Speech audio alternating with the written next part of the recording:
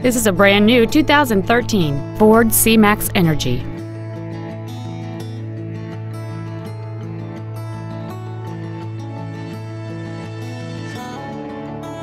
Its top features include a sunroof, heated front seats, a low tire pressure indicator, Sirius satellite radio, aluminum wheels, and traction control and stability control systems.